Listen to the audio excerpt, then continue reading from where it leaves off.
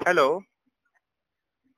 Message आपको मिला है सर हाँ मिला है मैसेज जी उसी अकाउंट पे आपको पैसे जमा करना है। आप अपना बैंक अकाउंट नंबर मैसेज कर दीजिए। अच्छा अच्छा। क्या है कि अभी मेरे खाते में तो पैसा है नहीं अभी? क्या? पैसा नहीं है मेरे खाते में। तो आप किसी से लेकर के पैसे जमा करवाइए और अपना काम करवाइए सर। अरे भाई पैसा तो है ही नहीं खाते में बिल्कुल पेटीएम में भी नहीं है। नहीं सर तो आप किसी से पैसा लेकर के अपना काम करवा लीजिए। एक दो घंटे के लिए आपको यहाँ पे हो जाएगा फिर पैसे निकाल के ठीक है सर। जाने दीजिए अब छोड़िए। ऐसा बात है सर। हाँ अब क्या करेंगे? पहले पहले आपको बोलना चाहिए था ना। क्या हुआ क्या? होगा क्या? इसमें होने का कोई बात नहीं है। होने का क्या बात है? नहीं तो फिर अभी पैसा है ही नहीं तो मैं कहाँ से भरू? और आपने कहा कि आज लास्ट दिन है। पैसा पैसा नहीं है तो आपको पहले ना बोलना चाहिए था सर। कि मुझे पैसा नहीं है आप नहीं मैसेज कीजिए। मुझे पैसा नहीं है।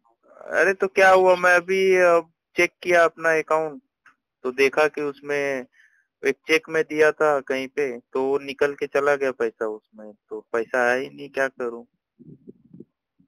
आपके पास कुछ भी पैसा नहीं है सर। नहीं बिल्कुल नहीं है। ज़ीरो बटा ज़ीरो। हाँ? ज़ीरो बटा ज़ीरो है सर। ज़ीरो क्या? ज़ीरो थोड़ी होगा ज़ीरो नहीं कुछ सौ दो सौ रुपए है। दो दो सौ में क्या होगा? हाँ? दो दो सौ में क्या होगा सर पैंतीस सौ चार्ज आपको बताया गया दो सौ के बात आप करते हैं।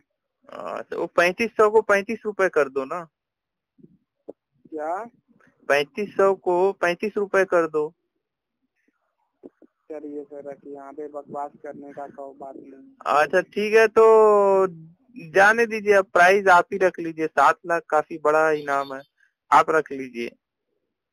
ओके सर जब आप हम रख लेते तो फिर आपको कॉल क्यों करते? अब यही तो आपको समझना चाहिए इतना बड़ा अमाउंट है आप क्यों इधर उधर कॉल कर रहे हैं? आप ही रख लीजिए।